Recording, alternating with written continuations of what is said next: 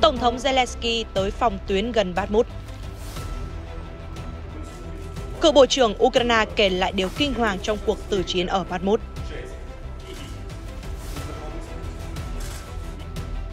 Trận địa pháo của Nga phá hủy kho đạn và doanh trại Ukraine. Đại sứ Nga chỉ trích Mỹ và phương Tây đưa nhân loại tới nguy cơ ngày tận thế hạt nhân. Đồng thời, Nga cảnh báo Mỹ không gửi vũ khí sát thương mạnh hơn tới Ukraine. Nhân chứng vụ UAV tấn công ký túc xá ở Kiev, tôi cảm giác như bị thiêu sống. Các tin tức khác giữa căng thẳng Moscow đưa thêm tên lửa tới hòn đảo gần Nhật Bản.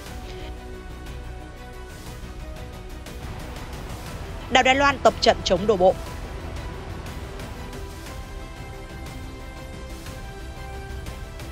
Ông Trump nói muốn bị còng tay nếu phải đến tòa án ở Manhattan. Tất cả sẽ được cập nhật ngay sau đây.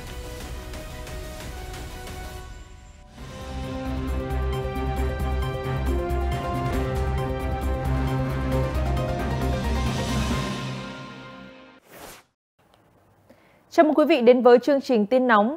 Thưa quý vị, vừa qua Tổng thống Ukraine Zelensky đã đến tiền phương miền Đông gặp gỡ và trao huân chương cho một số binh sĩ tham gia chiến đấu ác liệt ở đây. Tại phòng tuyến gần Bakhmut, ông Zelensky nói trong video đăng vào chiều ngày 22 tháng 3 rằng Tôi sẽ bắt đầu gửi đi thông điệp hôm nay từ tiền tuyến, từ khu vực Bakhmut. Đây là vinh dự cho tôi khi có thể tới đây để hỗ trợ các binh sĩ của chúng ta, những người đang đấu tranh bảo vệ đất nước ở chiến địa khó khăn nhất. Nhà lãnh đạo nói thêm, thật đau đớn khi nhìn thấy các thành phố của vùng Donetsk đã bị dày vò kinh khủng trong xung đột. Theo Reuters, lực lượng Ukraine đã chiến đấu ác liệt trong khoảng 8 tháng ở Bakhmut, hiện vẫn cầm cự dù gánh chịu thương vong rất lớn.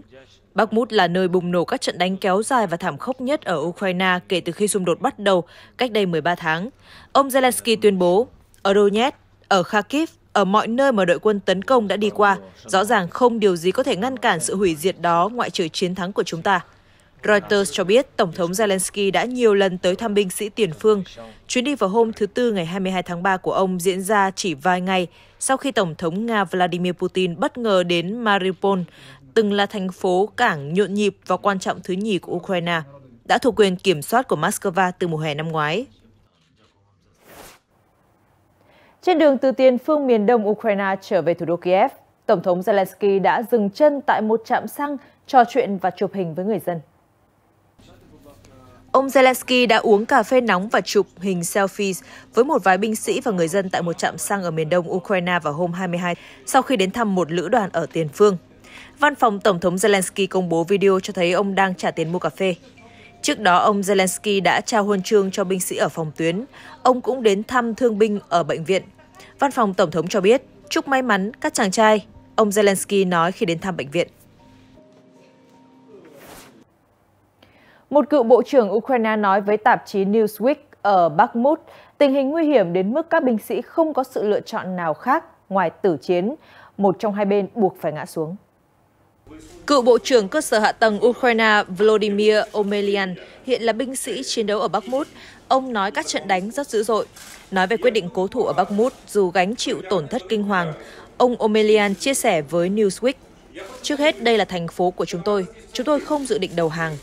Tiểu đội của ông Omelian thuộc lực lượng bộ binh Ukraine đang chiến đấu ở Bakhmut kể từ đầu tháng 3 này. Cựu Bộ trưởng không có nhiều kinh nghiệm chiến đấu trước khi ông tham gia lực lượng vũ trang Ukraine vào ngày 24 tháng 2 năm 2022, thời điểm Nga đưa quân tràn sang đất nước ông. Một trong những điều khó chấp nhận nhất chính là nhìn thấy người dân ở lại thành phố phải trải qua các trận chiến đô thị, các đợt oanh tạc và pháo kích. Điều đó thật sự kinh khủng, tôi cảm thấy buồn khi nghĩ về nó. Nhưng chúng tôi hiểu rằng không có cơ hội để lùi lại, phải tiếp tục chiến đấu. Sáng ngày 22 tháng 3, Tổng tham mưu trưởng quân đội Ukraine cho biết lực lượng Nga tiếp tục chiến dịch tấn công ở Bakhmut, nhưng mất mát đáng kể về binh sĩ, vũ khí và thiết bị quân sự. Viết trên Facebook, quân đội Ukraine khẳng định lực lượng phòng vệ của chúng ta đã chiến đấu đẩy lùi hàng loạt cuộc tấn công của địch suốt 24 trên 7. Ngày hôm trước, 21 tháng 3, Viện Nghiên cứu Chiến tranh có trụ sở ở Mỹ nhận định các lực lượng ủng hộ Moscow chỉ đạt bước tiến nhỏ xung quanh Bakhmut nhưng phải trả giá đắt Chuyên gia Mỹ đánh giá cuộc đại tấn công vào Bakhmut đã đuối sức và có dấu hiệu thoái trào. Viện nghiên cứu Mỹ cho rằng lực lượng Nga dường như đang tập trung tấn công vào phía bắc thành phố, bao gồm khu vực nhà máy kim loại Azov. Các blogger quân sự Nga cho rằng chiến binh Wagner đã kiểm soát phần lớn khu nhà máy rộng lớn này. Tình báo Anh ngày 22 tháng 3 cho biết, Ukraine đã bắt đầu phản công cục bộ ở phía tây Bakhmut trong vài ngày qua và giao tranh tiếp tục nổ ra dữ dội ở gần trung tâm thành phố.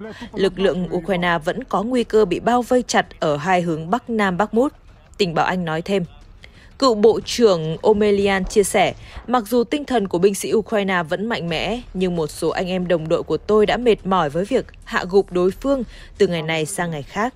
Nó bào mòn tinh thần và sức lực, ông nói thêm, đồng thời kêu gọi các nước phương Tây gửi thêm đạn dược và xe thiết giáp giúp cho quân đội Ukraine nhằm có thể quyết định cục diện Bakhmut và khép lại giao tranh.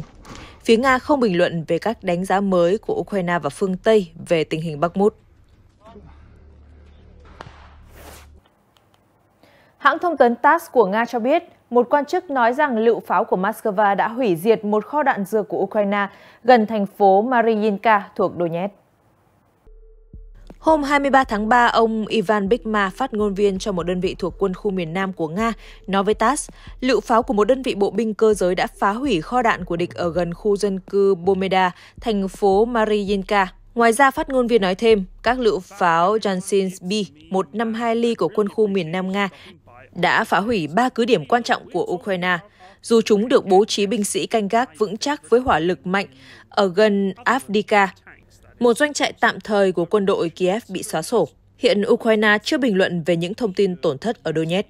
Hai A-36 Giant B là lựu pháo kéo được Liên Xô phát triển năm 1968 và đưa vào biên chế năm 1975. Được thiết kế với nhiệm vụ tiêu diệt sinh lực của địch, bắn phá kho vũ khí và thiết bị quân sự của đối phương. Lựu pháo Giantsin B là một trong những hỏa lực được các đơn vị bộ binh Nga sử dụng phổ biến trong các tác chiến phòng ngự, cũng như phá hủy các trận địa pháo binh trên chiến trường. Bộ Ngoại giao Nga ngày 22 tháng 3 tuyên bố rằng việc Vương quốc Anh chuyển đạn uranium nghèo cho Ukraine sẽ dẫn tới sự hủy hoại nghiêm trọng mối quan hệ giữa Moscow và London, vốn đang ở mức thấp nhất trong hàng chục năm. Hãng tin TASS trích thông cáo của Bộ Ngoại giao Nga có đoạn viết, quyết định này của Anh không thể tránh khỏi gây ra tác động nghiêm trọng đối với quan hệ giữa London và Moscow. Đồng thời các tổ chức đa phương cũng phản đối kế hoạch của Anh. Phía Nga sẽ không bỏ qua những hành động như vậy. Tuyên bố của Bộ Ngoại giao Nga đưa ra hôm 22 tháng 3, một ngày sau khi Quốc vụ Khanh Bộ Quốc phòng Anh Annabel Goldie cho biết, trong số đạn dành cho xe tăng chủ lực Challenger 2 sẽ chuyển cho Ukraine, sẽ có đạn xuyên giáp chứa uranium nghèo. Theo bà Goldie, loại đạn này có hiệu quả cao trong tiêu diệt xe bọc thép và xe tăng hiện đại. Ngay lập tức, phía Nga phản ứng quyết liệt. Tổng thống Vladimir Putin nói, nếu việc cung cấp đó xảy ra, Nga sẽ phải đáp trả tương xứng do phương Tây nhìn chung đã bắt đầu sử dụng vũ khí chứa thành phần hạt nhân. Bộ trưởng Quốc phòng Nga Sergei Shoigu cũng cảnh báo quyết định của Anh sẽ khiến Moscow và phương Tây ngày càng tiến gần một vụ va chạm hạt nhân. Một bước đi nữa đã được thực hiện và ngày càng còn ít bước hơn. Đương nhiên, Nga cũng có thứ để đáp lại, ông Shoigu nói. Trong khi đó, Bộ Quốc phòng Anh cáo buộc Nga cố tình tìm cách gây sai lệch thông tin. Uranium nghèo không liên quan đến các vũ khí và năng lực hạt nhân và đó là một thành phần tiêu chuẩn được quân đội các nước, trong đó có Nga sử dụng. Người phát ngôn Bộ Quốc phòng Anh cho biết và nhấn mạnh Nga biết rõ điều này. Phía Moscow vẫn giữ nguyên lập trường của mình. Thông cáo của Bộ Ngoại giao Nga khẳng định việc Anh dự kiến cung cấp đạn xuyên giáp chứa uranium nghèo cho xe tăng Challenger 2 cho thấy rõ tham vọng của London về dẫn dắt một tập thể chống lại Nga. Tuyên bố từ Moscow cho rằng bước đi đồng nghĩa với việc người Anh và Mỹ công khai tuyên bố sẵn sàng đưa cuộc đối đầu ở Ukraine lên một mức độ leo thang mới. Việc chính phủ Anh cam kết sẵn sàng giúp tái thiết Ukraine sau xung đột cho thấy họ cũng chuẩn bị tiến xa hơn trong cuộc chiến. Bộ Ngoại giao Nga nói thêm, nếu đạn xuyên giáp nguy hiểm được cấp cho Ukraine, nó cho thấy nước Anh rõ ràng không quan tâm đến sự đau khổ của người dân, không màng tới hậu quả môi trường cực kỳ khó khắc phục. Moscow chỉ trích London coi thường người dân Ukraine. Hành vi ngang ngược trắng trợn như vậy của Vương quốc Anh một lần nữa chứng minh rõ ràng ai là kẻ chủ mưu thực sự của cuộc xung đột Ukraine. London không nên quên rằng họ sẽ phải gánh vác toàn bộ trách nhiệm to lớn trong chuyện này. Bộ Ngoại giao Nga nhấn mạnh, Vương quốc Anh và các đồng minh chưa có bình luận mới trước phản ứng mạnh mẽ của phía Nga. Uranium nghèo là sản phẩm phụ của quá trình làm giàu uranium để sử dụng làm nhiên liệu và vũ khí hạt nhân, có ít tính phóng xạ hơn so với kim loại này trong tự nhiên, nhưng vẫn gây lo ngại về độc tính. Uranium nghèo thường được dùng làm đạn xuyên giáp do có mật độ cao hơn 70% so với chỉ. Đại sứ Nga tại Washington, ông Anatoly Antonov ngày 22 tháng 3 cho rằng các nước phương Tây do Mỹ dẫn đầu đang đưa cả nhân loại tiến gần tới nguy cơ ngày tận thế hạt nhân. Đại sứ Nga tại Mỹ Anatoly Antonov cho biết các nước phương Tây do Mỹ dẫn đầu đã quyết định đẩy nhân loại đến bờ vực của một cuộc chiến hạt nhân. Theo TASS, bình luận của ông Antonov nhằm đáp lại tuyên bố của các quan chức Mỹ rằng đạn uranium nghèo là loại vũ khí thông thường đã được sử dụng trong nhiều thập kỷ và sẽ không gây ra bất kỳ rủi ro gia tăng nào ở Ukraine. Ông Antonov chỉ trích, Mỹ đã đưa ra những phát ngôn vô nghĩa, tinh thần trách nhiệm của quan chức nước này đã xuống tới mức thấp nhất, vũ khí sát thương liên tục được chuyển tới Ukraine. Có vẻ như Liên minh phương Tây do Washington dẫn đầu đã đưa ra một quyết định không để đảo ngược, đó là đưa cả nhân loại tiến gần hơn tới làn danh mỏng manh của ngày tận thế hạt nhân. Ông Antonov tuyên bố. Trước đó, trong cuộc họp báo vào ngày 22 tháng 3, phát ngôn viên Hội đồng An ninh Quốc gia Mỹ John Kirby cho biết những bình luận của Nga về lo ngại Anh chuyển đạn uranium nghèo tới Ukraine chỉ là ngụy biện. Ông Kirby nói, đây là loại đạn phổ biến có khả năng xuyên giáp đặc biệt. Nếu Nga đặc biệt quan tâm đến xe tăng và quân nhân của mình, họ có thể rút quân. Tôi nghĩ điều thực sự diễn ra ở đây là Nga không muốn Ukraine tiếp tục hạ gục xe tăng của họ. Theo ông Kirby, Loại đạn uranium nghèo giúp tăng khả năng xuyên phá hệ thống phòng thủ của xe tăng, không có tính phóng xạ và không liên quan tới vũ khí hạt nhân. Ông cũng khẳng định Mỹ không chuyển đạn uranium nghèo cho Ukraine. Ngoại trưởng Anh James Cleverly nói rằng việc chuyển đạn uranium nghèo không phải leo thang hạt nhân và chỉ nhằm hỗ trợ Ukraine tự vệ. Phát biểu đó trái ngược với tuyên bố của Tổng thống Nga Vladimir Putin. Vào ngày 21 tháng 3, ông nói rằng Moscow sẽ phản ứng thích đáng nếu như tập thể phương Tây bắt đầu sử dụng các vũ khí có thành phần hạt nhân. Thêm 8 chiếc siêu tăng Leopard 2 do Đức sản xuất đã được gửi tới tay Ukraine, và lần viện trợ này đến từ Na Uy. Kiev và phương Tây hy vọng xe tăng chủ lực của phương Tây sẽ là yếu tố giúp củng cố sức mạnh của Ukraine, giúp họ có nhiều phương án lựa chọn hơn khi triển khai chiến thuật. Dù vậy, khó khăn vẫn còn rất nhiều. Lực lượng vũ trang Na Uy ngày 22 tháng 3 công bố hình ảnh chiếc xe tăng Leopard 2A4 được vận chuyển bằng đường bộ đến một địa điểm không được tiết lộ vào một ngày không được tiết lộ. Sau đó xe tăng được chất lên máy bay vận tải Antonov để gửi tới Kiev, đi kèm với đạn dược và một phương tiện bọc thép. Na Uy vào cuối tháng 1 năm nay đã cam kết gửi 8 xe tăng Leopard cho Ukraine cùng với 4 phương tiện bắc cầu. Na Uy nói rằng sự hỗ trợ của họ dựa trên tham vấn với Kiev về những khí tải cần thiết nhất. Ngày 20 tháng 3, quân đội Na Uy xác nhận qua email với Reuters rằng 8 xe tăng Leopard từ nước thành viên NATO này đã được gửi tới binh sĩ Ukraine. Na Uy, quốc gia có chung đường biên giới với Nga ở Bắc Cực, có tổng cộng 36 xe tăng Leopard 2. Các quốc gia NATO khác bao gồm Đức, Ba Lan và Bồ Đào Nha cho biết họ sẽ cung cấp tổng cộng 48 xe tăng Leopard 2 cho Ukraine. Ngoài ra, Ukraine cũng có được xe tăng Challenger 2 của Anh và M1 Abrams của Mỹ. Nhà Trắng và các quan chức Mỹ từng nói rằng 31 xe tăng Abrams mà Mỹ cam kết viện trợ sẽ khó đến Ukraine trong năm nay. Tuy vậy, trang tin Defense News ngày 21 tháng 3 cho biết Lầu Năm Góc đang đẩy nhanh việc cung cấp tên lửa phòng không Patriot và xe tăng M1 Abrams cho Ukraine. Mỹ chọn gửi biến thể xe tăng Abrams cũ hơn được tân trang lại vì ưu tiên hiện giờ là trao khí tải cho Kiev càng sớm càng tốt để chuẩn bị cho các kế hoạch quân sự vào mùa thu này. Quân đội Ukraine tin rằng xe tăng phương Tây sẽ đóng vai trò quan trọng giúp họ xoay chuyển cục diện trên chiến trường. Tuy nhiên, giới quan sát cho rằng việc phương Tây cùng lúc chuyển ba mẫu xe tăng chủ lực khác nhau sẽ khiến Ukraine phải đối mặt với thách thức hậu cần rất lớn khi các loại khí tài này đều rất phức tạp và đòi hỏi quy trình bảo dưỡng, sửa chữa riêng biệt. Xe tăng chủ lực hiện đại là khí tài phức tạp, hiệu quả tác chiến của chúng phần lớn đến từ hệ thống máy tính và thiết bị điện tử tinh vi bên trong, giúp xác định mục tiêu để khai hỏa pháo một cách nhanh chóng và chính xác. Ông Nicolas Drummond, chuyên gia công nghiệp quốc phòng trong lĩnh vực tác chiến trên bộ, cho hay xe tăng Leopard 2 của Đức được thiết kế để lính nghĩa vụ có thể bảo dưỡng, khác với mẫu M1 Abrams và Challenger 2 cần binh sĩ chuyên nghiệp vận hành. Số lượng xe tăng Leopard 2 có sẵn ở châu Âu cũng mang đến lợi thế lớn hơn. Phụ tùng thay thế cho Leopard 2 luôn có sẵn từ nhiều nguồn chuyên gia Drummond cho biết. Trong khi đó, nếu xe tăng Abrams bị hư hại, cả Ukraine lẫn Hoa Kỳ đều rất tốn thời gian và công sức để sửa chữa thay thế. Để chuẩn bị cho việc sử dụng hiệu quả các xe tăng phương Tây, binh sĩ Ukraine đã được gửi tới Đức để nhận huấn luyện. Reuters ghi nhận ngày 13 tháng 3, các binh sĩ Ukraine đã khai hỏa pháo 120 ly của xe tăng chiến đấu chủ lực Leopard tại một thao trường ở Đức. Các binh sĩ này hiện đang trở lại chiến trường kinh hoàng ở Ukraine, nhưng với niềm hy vọng và sự tự tin lớn hơn. Họ cho rằng xe tăng của phương Tây có thể khiến lính Nga phải khiếp sợ. Phó đô đốc Herb Blagin, chỉ huy trung tâm huấn luyện, nói với các phóng viên rằng khi Ukraine có được các xe tăng tốt như Leopard, họ có thể suy tính các cuộc phản công đột phá. Phó đô đốc tin rằng xe tăng Đức sẽ là nhân tố chính cho cuộc phản công của Kiev vào mùa xuân hè sắp tới. Tại thao trường Bergen, các huấn luyện viên người Đức tỏ ra hài lòng với màn thể hiện của quân nhân Ukraine trong khóa học cấp tốc kéo dài 6 tuần. Binh sĩ Ukraine cũng được huấn luyện trong bóng tối để tận dụng tốt nhất những thứ được coi là thiết bị nhìn đêm ưu việt của Leopard. Một xạ thủ Ukraine nói rằng bản thân không sợ hãi và cảnh báo người Nga hãy chuẩn bị tinh thần cho sự xuất hiện của Leopard. Người lính này cho biết xe tăng Leopard có thể là bước đột phá mạnh mẽ và cần thiết.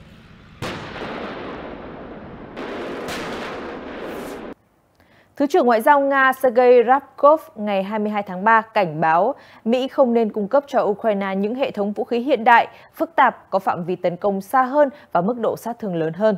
Quan chức Nga cho rằng người Mỹ thật sự đang chứng minh họ sẵn sàng bước đi trên con đường leo thang xung đột, thử thách lòng kiên nhẫn của Moscow. Thứ trưởng Ngoại giao Nga Sergei Ryabkov nói với hãng thông tấn nhà nước TASS vào hôm 22 tháng 3 rằng Mỹ trên thực tế đã thể hiện ý muốn leo thang xung đột, điều này đã diễn ra hàng ngày. Theo Newsweek, trước đó vào ngày 21 tháng 3, một nhóm các nhà lập pháp Đảng Cộng Hòa đã hối thúc Tổng thống Mỹ Joe Biden gửi bom chùm cho Ukraine. Bức thư của các nghị sĩ Cộng hòa viết rằng việc cung cấp các loại vũ khí này sẽ giúp Ukraine bù đắp tranh lệch với Nga cả về nhân lực lẫn số lượng đạn pháo. Bom chùm là loại bi cỡ nhỏ được chứa trong quả bom mẹ cỡ lớn. Khi nổ, bom mẹ bắn bom con ra ngoài một vùng rộng lớn. Khi rơi xuống mục tiêu, bom con sẽ nổ gây sát thương cho người hay phá hủy xe cơ giới. Bom chùm bị cấm ở hơn 120 quốc gia. Ukraine hiện là quốc gia duy nhất đang chứng kiến việc sử dụng loại vũ khí nguy hiểm này. Theo một báo cáo của tổ chức theo dõi nhân quyền cho biết vào tháng 9 năm 2022. Bà Mary Wareham, chuyên gia tại tổ chức theo dõi nhân quyền cho biết Nga đã sử dụng rộng rãi bom chùm ở Ukraine, cho thấy sự coi thường trắng trợn tính mạng con người, các nguyên tắc nhân đạo và các quy tắc pháp lý. Trong khi đó ở Mỹ lá thư của nhóm nghị sĩ Cộng hòa mới đây cho rằng những lo ngại mơ hồ về phản ứng của các đồng minh và đối tác của Mỹ, cũng như lo ngại thiếu căn cứ về sự leo thang xung đột, đang ngăn cản việc gửi bom chùm cho Ukraine một cách không cần thiết. Hậu quả trước mắt của việc không gửi các loại vũ khí này đang diễn ra trên chiến trường ở Bakhmut và những nơi khác của Ukraine hiện nay. Các nghị sĩ viết thêm, thành phố Bakhmut thuộc khu vực Donetsk phía đông Ukraine đã chứng kiến nhiều tháng giao tranh ác liệt với Kiev rơi vào thế tiến thoái lưỡng nan. Trong tháng này, Reuters đưa tin rằng Ukraine đang hy vọng nhận được bom chùm MK-20 phóng từ trên không, cũng như đạn pháo chùm 155 ly. Cả Nga và Mỹ đều chưa ký kết Công ước Liên Hợp Quốc về bom đạn chùm. Công ước này quy định cấm sử dụng, phát triển, sản xuất, thu mua, tàng trữ hoặc chuyển giao bom, đạn chùm, cũng như việc cấm hỗ trợ hoặc khuyến khích các bên khác làm như vậy. Ukraine chưa bình luận về lá thư của các nghị sĩ Mỹ. Nước này từng công khai tuyên bố muốn nhận bom chùm của Mỹ, song chưa đề cập cụ thể loại khí tay nào. Mặt khác, ở Washington, không ít quan chức cũng nhận định rằng bom chùm có thể là bước đi quá xa đối với chính quyền Tổng thống Joe Biden và Quốc hội Mỹ. Những người phản đối chuyển bom chùm cho Ukraine giải thích rằng những quả bom còn sót lại có thể gây thương tật hoặc tử vong với dân thường vào nhiều năm sau khi giao tranh kết thúc. Bom MK20 nặng 222 kg, bên trong chứa 247 bom con MK118. Sau khi được thả từ máy bay, bom MK20 sẽ tách vỏ, giải số bom con bên trong xuống dưới và tạo ra vùng sát thương lớn. Mỹ dừng sản xuất MK20 từ nhiều năm trước, song vẫn trữ loại bom này trong kho vũ khí. Thứ trưởng Ngoại giao Nga Ryakov cảnh báo Mỹ nên ngừng bơm vũ khí cho Ukraine. Ngày càng có nhiều hệ thống khí tài hiện đại, phức tạp, tầm xa có độ sát thương lớn, được Mỹ gửi tới ồ ạt trên chiến trường Ukraine. Và do đó, Washington hết lần này đến lần khác khẳng định vị thế của mình với tư cách là một bên trực tiếp tham gia vào cuộc xung đột này. Bên cạnh đó, nói về việc Mỹ triển khai máy bay không người lái làm nhiệm vụ trinh sát ở Biển Đen, Thứ trưởng Ryakov nói rằng chúng tôi cảnh báo Mỹ không nên cố gắng chơi trò kích động, thách thức lòng kiên nhẫn của Nga. Reuters dẫn lời quan chức Ukraine cho biết các nhân viên cứu hộ đã chiến đấu với ngọn lửa bao trùm các tòa nhà trung cư ở thành phố miền nam Zaporizhia, nơi hứng chịu hai tên lửa tập kích ngày 22, khiến ít nhất một người thiệt mạng và 33 người khác bị thương. Camera trên đồng phục cảnh sát Ukraine đã ghi lại hình ảnh cứu hộ ở hiện trường đổ nát. Những nạn nhân bị thương được sơ cứu bên ngoài tòa nhà. Trong thông điệp đăng trên Telegram, Tổng thống Ukraine Zelensky lên án tên lửa Nga đã tập kích tàn khốc vào thành phố. Moscow chưa lên tiếng về vụ việc. Trong diễn biến khác, các quan chức thuộc Ủy ban điều tra của Nga tại Donetsk cho biết cơ sở cung cấp nước ở Donetsk vào đêm ngày 22 tháng 3 đã bị tấn công bởi một tên lửa đạn đạo tốc cao U thời Liên Xô. Quan chức nói rằng quân đội Ukraine đã phóng vũ khí này. May mắn là vụ oanh kích ban đêm không gây ra thương vong cho người dân. Quan chức giấu tên nói với báo chí.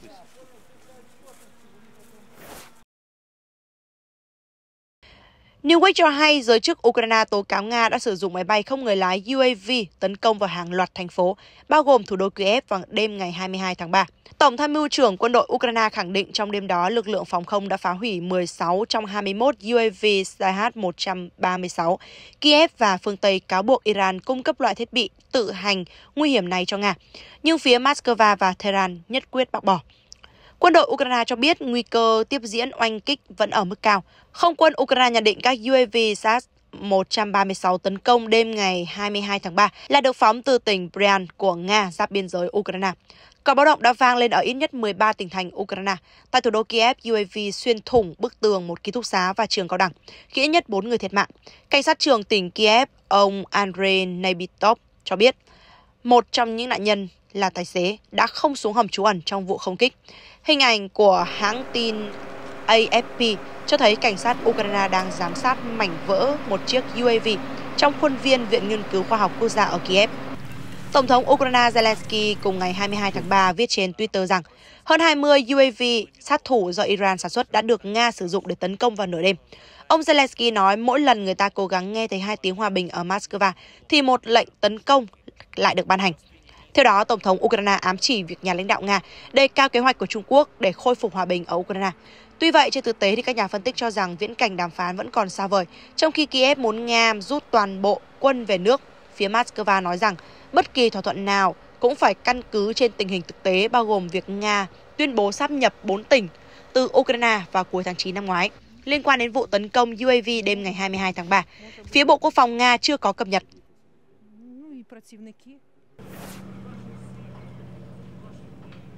Tại thị trấn Riship nằm ven một dòng sông phía nam thủ đô Kiev, ít nhất 6 người thiệt mạng, 18 người khác bị thương và 3 người khác mất tích sau khi một UAV tấn công hai ký túc xá vào đêm ngày 22 tháng 3. Phóng viên Reuters ghi nhận một phần tòa nhà 5 tầng đã sụp xuống. Dễ nhìn thấy khu vực tầng lầu bị hủy hoại trong vụ không kích. Trong số các nạn nhân bị thương thì nhiều người đang được điều trị tình trạng bỏng nặng. Oleksandr Seles, một giảng viên trường cao đẳng chia sẻ, tôi cảm thấy nóng khủng khiếp khắp cơ thể giống như cả người tôi sắp bốc cháy. Trong một khoảnh khắc tôi đã ước khối bê tông kia rơi sầm xuống mình để giải thoát cho tôi khỏi cảm giác như bị thiêu sống. Bà Victoria sống gần trường cao đẳng cho biết đã nghe thấy 3 tiếng nổ và nhìn thấy các UAV bay qua vào khoảng 2 giờ sáng. Chúng bay rất chậm nên tạo ra những tiếng động rất lớn và sau đó là những tiếng nổ kèm theo lửa cháy lớn. Suốt đêm ngày 22 tháng 3, cả báo động đã vang vọng khắp Kiev và sau đó là bầy đàn UAV tấn công. Quân đội Ukraine cho biết đã bắn hạ 16 trong 21 chiếc UAV tự sát. Hiện tại công tác tìm kiếm cứu hộ vẫn đang tiếp tục khi có nhiều người chưa rõ tung tích. Phía Nga chưa đưa ra bình luận về các thông tin trên. Ông Uông Văn Bân, phát ngôn viên Bộ Ngoại giao Trung Quốc trong một cuộc họp báo thường kỳ ngày 22 tháng 3 đã kêu gọi Mỹ nhìn nhận lại vai trò của nước này trong khủng hoảng Ukraine và hãy ngừng đổ lỗi cho Trung Quốc, phát biểu đưa ra vào ngày Chủ tịch Trung Quốc Tập Cận Bình kết thúc chuyến thăm Moscow. Theo Reuters, trong chuyến thăm cả hai nhà lãnh đạo Nga và Trung Quốc đã làm rõ tầm nhìn của họ về trật tự thế giới đa cực mới. Chủ tịch Trung Quốc ít nhắc tới Ukraine trong các phát biểu và khẳng định lập trường của Bắc Kinh hoàn toàn không thiên vị. Ngược lại, phía Nhà Trắng cho rằng Trung Quốc đã thể hiện quan điểm thiên vị ủng hộ Nga và giúp Nga chống lại trừng phạt của phương Tây. Mỹ kêu gọi Bắc Kinh hãy gây áp lực để Nga rút quân về nước, khôi phục toàn vẹn lãnh thổ cho Ukraine và chấm dứt cuộc xung đột lớn nhất châu Âu kể từ sau đệ nhị thế chiến. Phản ứng với bình luận của Mỹ, phát ngôn viên Bộ Ngoại giao Trung Quốc Uông Văn Bân nói rằng Chúng tôi hối thúc Hoa Kỳ xem xét và nhìn nhận lại vai trò của họ trong vấn đề Ukraine. Hãy sửa chữa những hành động sai lầm của mình, đừng đổ thêm dầu vào lửa và đừng đùn đầy trách nhiệm cho Trung Quốc. Nga cho biết một đơn vị tên lửa phòng thủ bờ biển Bastion vừa được triển khai tới Baramerser thuộc quần đảo Kuril ở phía bắc Thái Bình Dương. Nhật Bản cũng tuyên bố chủ quyền một phần quần đảo này gọi là lãnh thổ phương Bắc. Theo đài Al Jazeera, động thái của Moscow nằm trong nỗ lực rộng lớn hơn về tăng cường sức mạnh quốc phòng ở toàn bộ vùng viễn đông rộng lớn của Liên bang Nga. Bộ trưởng Quốc phòng Nga Sergei Shoigu vào ngày 22 tháng 3 khẳng định Nga cần củng cố sức mạnh để chống lại điều mà ông cho là nỗ lực của Mỹ cùng đồng minh Động thái của Nga về tăng cường tên lửa ở khu vực biển đảo nhạy cảm diễn ra ngay sau khi Thủ tướng Nhật Bản Fumio Kishida có chuyến thăm bất ngờ tới Ukraine. Đài Al Jazeera cho biết một số nhà quan sát nghĩ rằng Tokyo, đồng minh thân cận của Washington rõ ràng có một số tính toán khi Thủ tướng Kishida đến Kiev, chung với thời gian với chuyến thăm của Chủ tịch Trung Quốc đến Moscow. Đại tướng Nga Shoigu ngày 22 tháng 3 cho rằng để kìm hãm Nga và Trung Quốc, phía Mỹ đang tăng cường hiện diện quân sự đáng kể ở khu vực châu Á-Thái Bình Dương, củng cố liên kết chính trị và quân sự với các đồng minh, tiếp tục tạo nên một kiến thức an ninh mới của Mỹ ở khu vực. Ông Shoigu cho biết hệ thống tên lửa Basen triển khai thêm tới chuỗi đảo Kuril là cần thiết nhằm củng cố an ninh Nga. Nhật Bản tuyên bố chủ quyền với bốn đảo phía nam của Kuril mà Tokyo nói rằng đã bị quân Liên Xô chiếm đóng vào cuối đệ nhị thế chiến. Phía Moscow bác bỏ và nói đó là phần không thể thiếu của Nga. Nhật Bản không tuyên bố chủ quyền với đảo Paramerser, nằm ở phía bắc của quần đảo.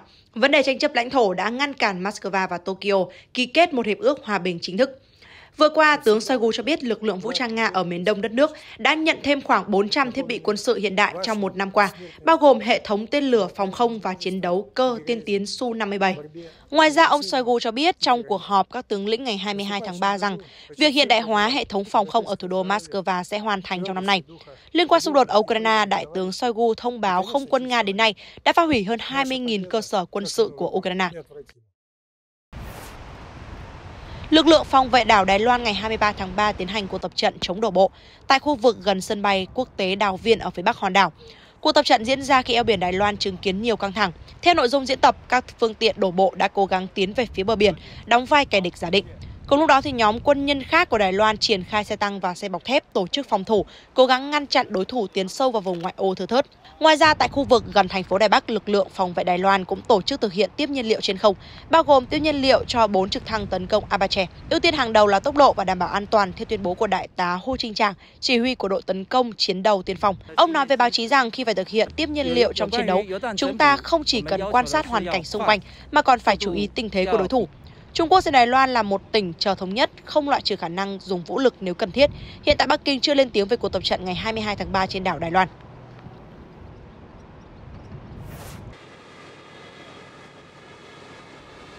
Công tác chuẩn bị đang tiến hành khẩn trương trên bong tàu USS Markin Island của Hải quân Mỹ vào ngày 23 tháng 3, khi nước này cùng đồng minh Hàn Quốc vừa bắt đầu tập trận đợt tấn công đổ bộ quy mô lớn đầu tiên trong vòng 5 năm.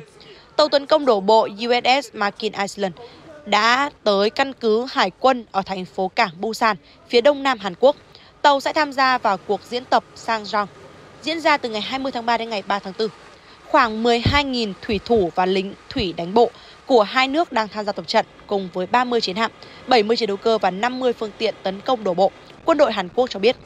Bình Nhưỡng đã liên tục chỉ trích các cuộc tập trận chung của Mỹ Hàn là chuẩn bị cho chiến tranh. Triều Tiên đã phóng 4 tên lửa hành trình ra vùng biển phía đông nước này khi cuộc tập trận lớn đang diễn ra ở quốc gia hàng xóm.